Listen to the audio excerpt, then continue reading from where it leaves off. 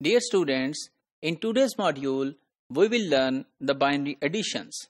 So we have previously learned that how numeric values are represented in the form of binary notation. So now the time has come that we should learn that how binary numbers are then added to form the sum.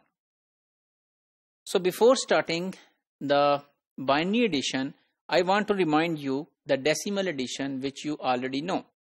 So for example, you want to add 25 and 38. So what is the procedure?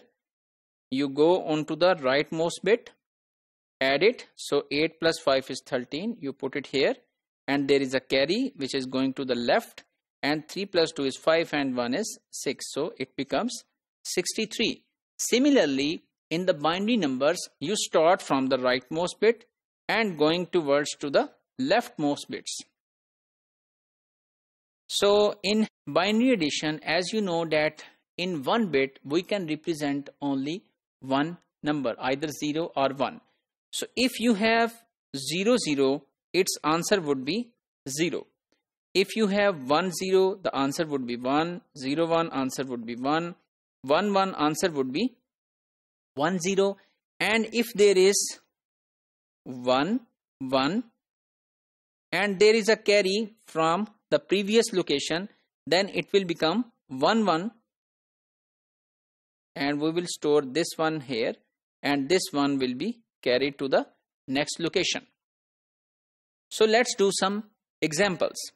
So I have used the same power method for simplicity.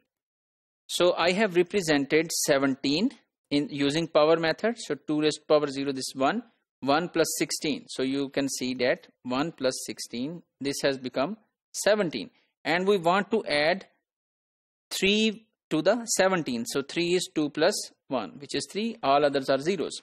So you know 1 1 will become 1 0 so you will write 0 here the rightmost bit. And this one will be carried over here. So it will become 1 1 again 1 0 so 0 will be placed here and 1 goes to as a carry here.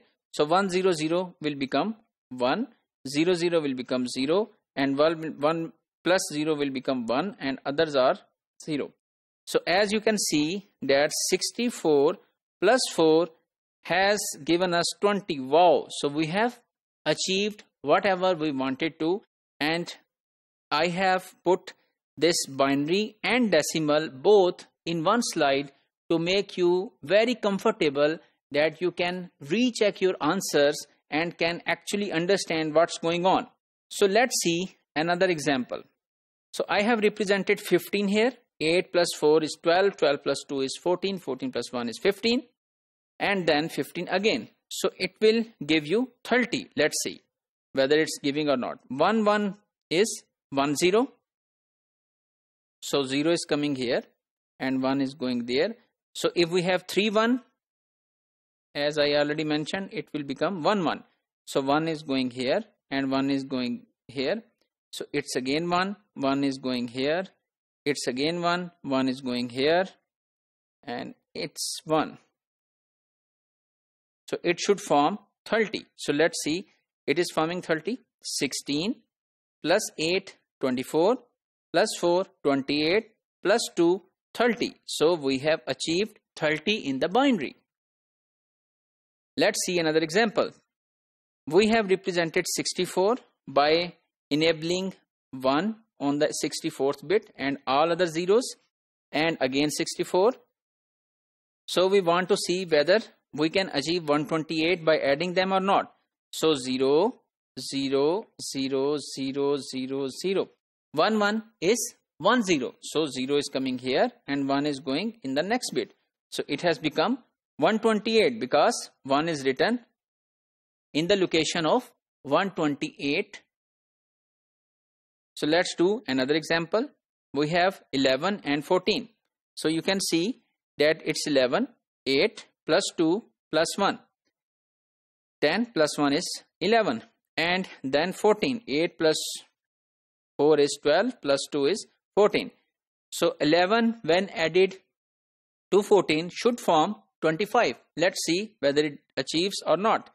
So 1 plus 0 gives you 1. 1 plus 1 gives you 1 0. 0 is here, 1 is going here. 1 plus 1 is again 1 0, 0 is here, 1 is going here.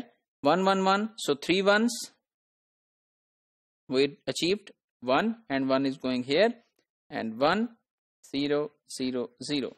So let's see whether we are able to achieve 25 or not.